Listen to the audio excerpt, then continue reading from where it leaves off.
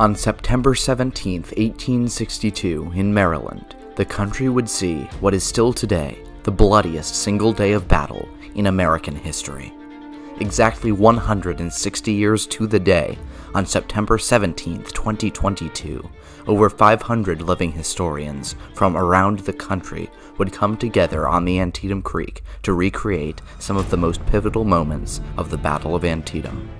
I was there. This is our story.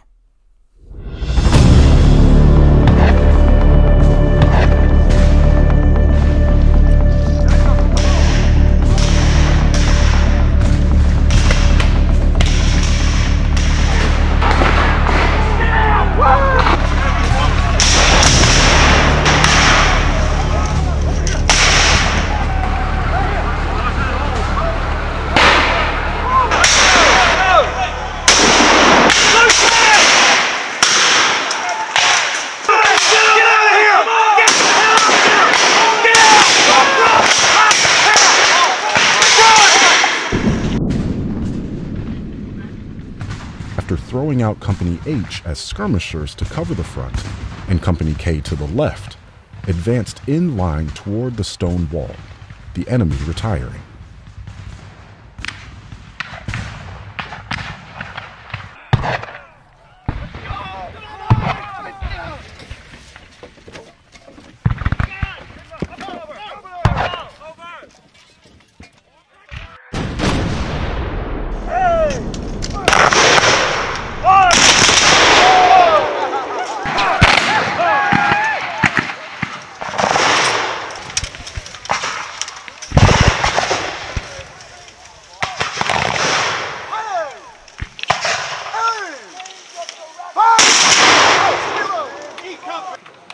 We let them within 60 or 70 yards of us and poured in with a withering volley that made their old line reel and stagger under the dreadful effect of the fire.